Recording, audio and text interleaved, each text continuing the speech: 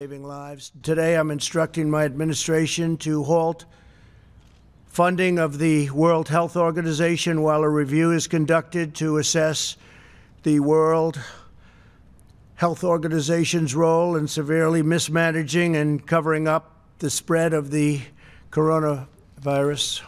十四号，美国总统川普宣布停止资助世界卫生组织。川普表示，美国纳税人每年提供世界卫生组织四至五亿美元，相比之下，中共每年捐款约四千万美元，甚至更少。As the organization's leading sponsor, the United States has a duty to insist on full accountability.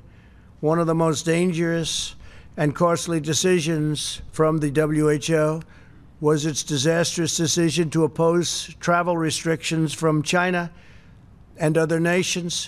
另外，川普被记者问到是否会让世界卫生组织秘书长谭德赛下台时，他表示正在调查中。他不认识谭德赛，但他知道这个人有点问题。美国国务卿蓬佩奥周二表示，美国寻求从根本上改变 WHO。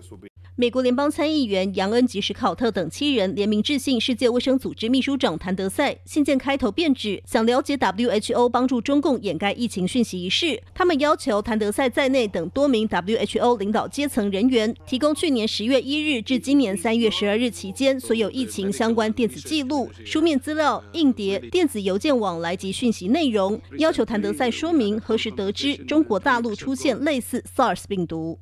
新唐人亚太电视张麒麟综合报道。